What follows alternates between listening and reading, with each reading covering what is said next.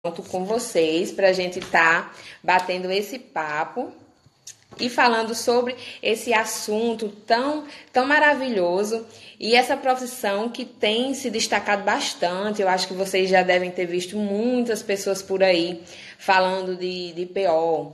Ah, PO, Personal Organizer, que nada mais é do que a profissional da organização.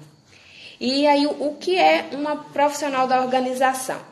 A profissional da organização é uma pessoa que vai lhe auxiliar, vai lhe ensinar a se organizar, a ter suas coisas mais práticas, mais fáceis, de melhor acesso.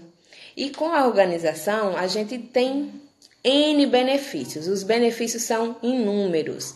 É, nós estamos, nosso papel de profissional organizer é ensinar a todos da família a se organizar.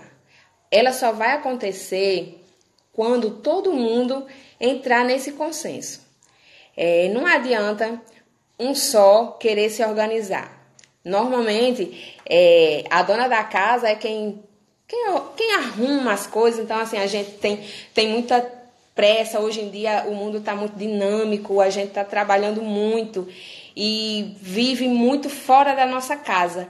E às vezes, por vivermos muito fora da nossa casa, as coisas vão ficando jogadas, né? A gente chega da rua com sacola, com bolsa, com papéis, com documentos, com exames médicos e às vezes, muitas vezes, esses papéis vão ficando em cima da mesa, a mesa vai ficando aquele aglomerado, que assim, é uma outra dor que eu tenho muito grande é sobre mesas. Mesas não é peça decorativa de casa, nem é depósito. Mesa é de se fazer refeição.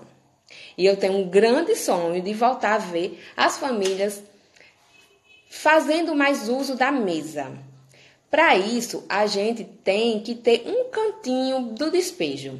Aqui em casa eu resolvi esse problema realmente com uma mesinha de entrada. Então a gente chega da rua, a gente tem uma mesinha de entrada para estar tá colocando a bolsa, a sacola, aquelas comprinhas. A gente sempre traz alguma coisa da rua.